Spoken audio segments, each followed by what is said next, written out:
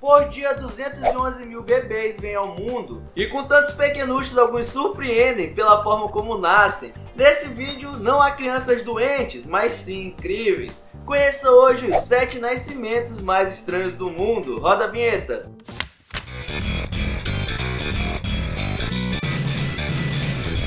E aí pessoas do YouTube, eu me chamo Ana Santos e bem-vindos a mais um vídeo do canal Manac X. E se você gosta de curiosidades, aquele conteúdo de qualidade, passe no canal do meu amigo Mr. Curioso, se inscreva lá que você não vai se arrepender. O cara fala sobre umas curiosidades muito loucas de forma divertida, o link está aqui na descrição. Então, bora pro vídeo.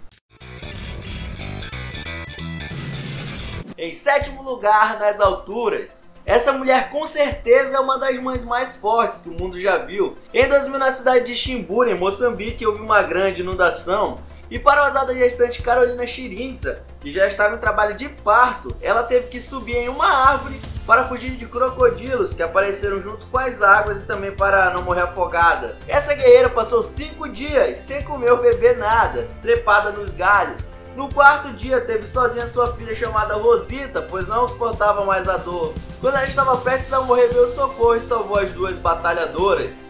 Graças a esse esforço, graças a essa linda história, a Supermãe ficou famosa no mundo todo, ganhando casa, um bom emprego e também fazendo uma viagem ao redor do mundo com sua filha. Em sexto lugar, mais numeroso. Quantos filhos a sua mãe tem? Um, dois, talvez três.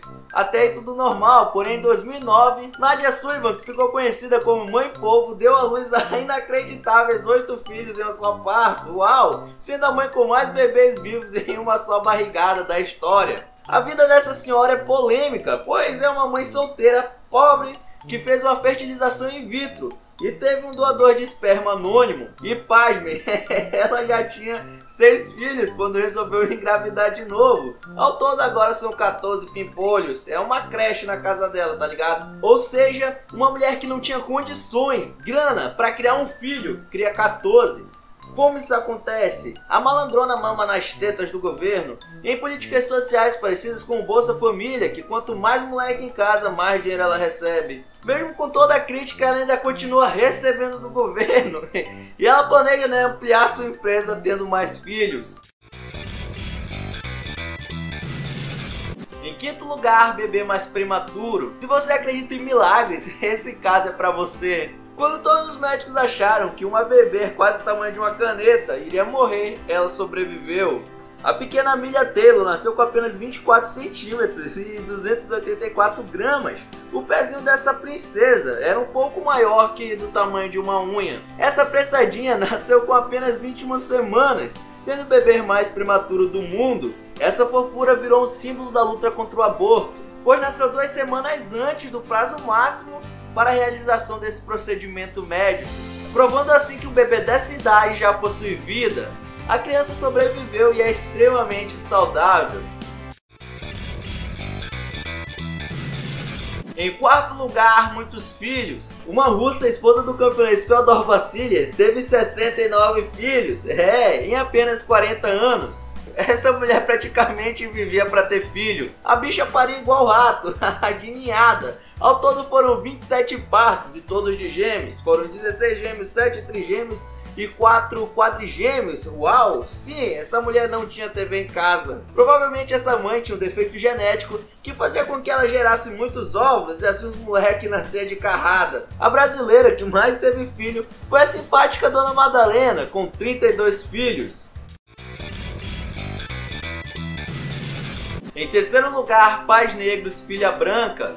Uma garotinha chamada Yamashi intrigou os especialistas em genética. Ela nasceu branca, loura e com os olhos azuis.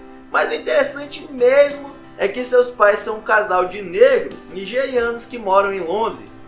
O pai jura que a filha é dele, que não houve manipulação de cerca. E é lógico, tudo foi provado por DNA. E além disso, nenhum dos dois possui nenhum parente branco. Segundo o jornal Daily Mail, Angela e Benjamin já possuem outros dois filhos de pele negra.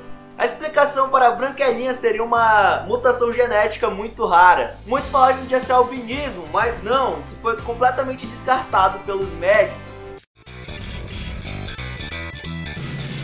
Em segundo lugar, mãe mais velha. A mãe mais velha do mundo é uma indiana chamada Rajodev Lohan, que deu à luz a sua filha com impressionantes 70 anos de idade. Ela e o seu maridão emprestaram 3 mil dólares para realizar uma fertilização in vitro. Essa senhora não sossegava o facho e toda noite queria dar uma sarrafiada com o maridão para tentar realizar o sonho de ter um bebê, coisa que ela nunca tinha conseguido. Ela quase mata o velho e nada. Então ela teve que apelar né, para a ciência. Rajo conseguiu, mas quase morre no parto. Ficou seriamente doente, porém ela afirma que todo esse risco valeu a pena. Em primeiro lugar, mãe de 5 anos. Lila Medina é uma peruana que nasceu em 1933 e a mãe mais jovem já documentada pela medicina com apenas 5 anos de idade. A família, ao ver a barriga da menina crescendo, achou que era um tumor algo assim e levou a criança ao hospital, onde foi descoberta a gravidez. Como a menina se recusou a falar que era o pai, a polícia acabou prendendo o pai de Medina, acusando ele de estupro. Porém, logo depois ele foi solto por falta de provas. Hoje Nina vive em uma casa humilde no Peru e com seus 84 anos se recusa a dar entrevistas. E aí, maníacos, qual desses casos mais assustaram vocês? Ou que vocês mais acharam legais? Deixem aí nos comentários. Então é isso, galera. Muito obrigado por ter assistido esse vídeo até o final. Não esqueça de deixar seu like e se inscrever no canal, né, para não perder as novidades. E aqui do lado tem os últimos vídeos lançados pelo Almanac X que estão sensacionais. Então é isso, até o próximo vídeo.